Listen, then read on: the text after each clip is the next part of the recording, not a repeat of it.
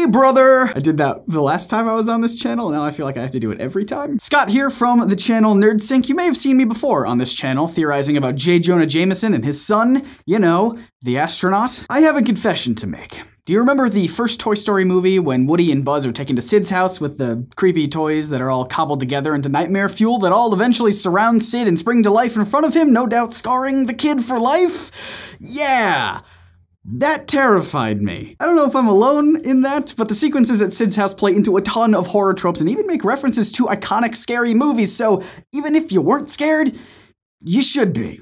Like me, and here's why. Now, it's no secret that Toy Story has plenty of references to horror movies. As the toys spring to life to terrorize Sid, they stagger towards him like zombies rising from their grave. Woody's famous line, We see everything, looks suspiciously like the creepy, slow 360 degree head spin from The Exorcist. There's a quick reference to alien chest bursters at Pizza Planet, and probably most notably, the carpet in Sid's house is eerily reminiscent of the carpet in the Overlook Hotel from The Shining, a horror movie so famous it's furniture has become iconic. That's just one of the countless references to The Shining throughout the whole Toy Story franchise, and even Pixar in general. Then there's Sid himself, a child Dr. Frankenstein, cobbling together his own monsters by fusing mismatched toy parts into mutant playthings. When Woody and Buzz first encounter Sid's creations, Woody freaks out at the sheer sight of them. It's not that they're strangers and he's scared of toys he doesn't know. He initially tries to befriend them. It's only after Woody sees their full forms that he becomes terrified. Rightfully so, if you ask me. There's that baby-faced spider robot thing, the fishing rod with legs, and whatever the heck this guy is. I'm not okay with it. The point is, these mutant toys are scary. But why? In his book, The Philosophy of Horror, author Noel Carroll attempted to break down precisely what it is that makes something horrific. Why do we find certain things scary? The answer is a little bit more complex than you might think at first, but to put it simply, Carroll gives two definitive traits that describe what he calls art horror, to differentiate it from real life horror, I suppose. Quote, the objects of art horror are essentially threatening and impure. End quote. Now, the first part is pretty obvious, right? For something to be scary, it has to be threatening, or at the very least, appear threatening. Even though the mutant toys were actually gentle and helping, Woody and Buzz mistake them for cannibals when they first meet. They're cannibals. They were scared for their lives. Same goes for any other horror monster, from slasher flicks to paranormal terrors. There's always some element of life threatening danger. But that's only one part of the equation, right? Almost every movie has some kind of threat. You wouldn't say that Spider Man Homecoming is a horror movie, unless you really hate spiders. Or men. So that is where the second part of Carroll's theory of art horror comes in. Art horror. You gotta say it like that. You gotta say art horror. Art horror. You don't have to say it like that. That threat must also be impure, and while that can mean things like dirty or slimy, what impure really means in this context is more about our inability to recognize and categorize what it is that we're looking at. So, for example, Woody is a cowboy, Buzz is a spaceman, Rex is a.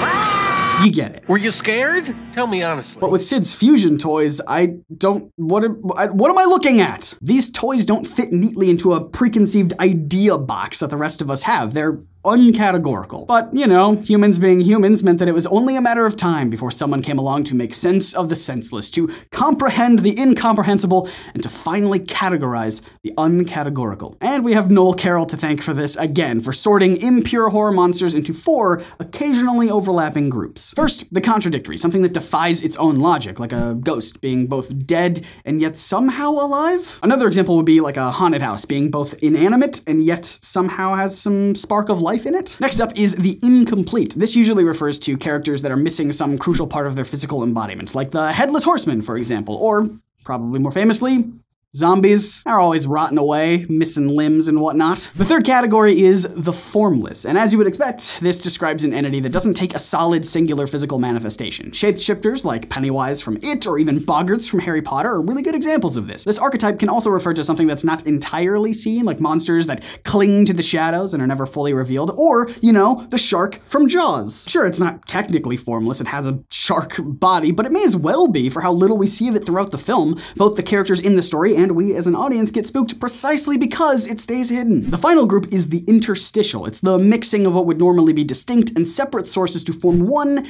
single identity. Like a werewolf being both man and wolf, or more famously, Frankenstein's monster, constructed from different parts of humans and animals to create one iconic beast.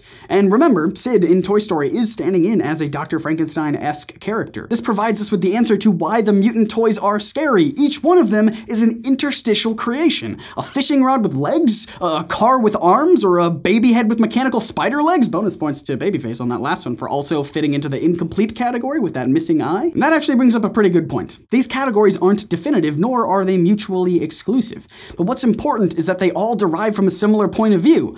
Things that we deem unnatural are unnerving. They threaten common knowledge and expose holes in our understanding of the world. They reveal how we thought the world works is not actually how the world is, and that is terrifying. Like, follow me on this one. Uh, imagine you're a young kid growing up playing with your toys, not a, not a care in the world. Then you discover that toys are alive and can watch you from anywhere. And that is what traumatizes Sid at the end. Unlike me, and definitely others, not just me, Sid is not scared by the interstitial nature of the toys. He's the one who made them. He likes them that way. Instead, what frightens him is the first category that we talked about, the contradictory nature of the toys, inanimate objects suddenly springing to life and coming straight for him. No thank you. I've seen Child's Play.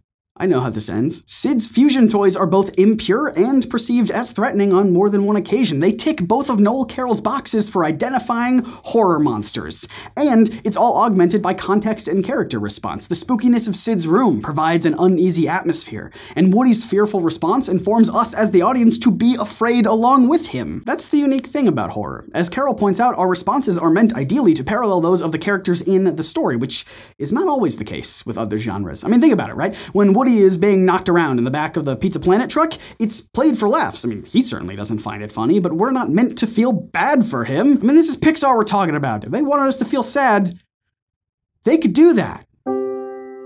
They could do that.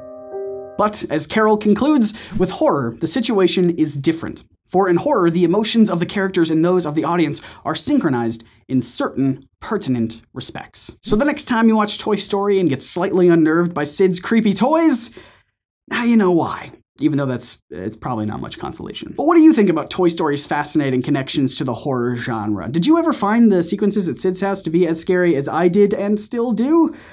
Let me know your thoughts in the comments. And hey, if you want to hear more of my over-analytical thoughts about nerdy things, I have a channel called NerdSync, where we make educational videos about comic books and superheroes every single week to varying degrees of success.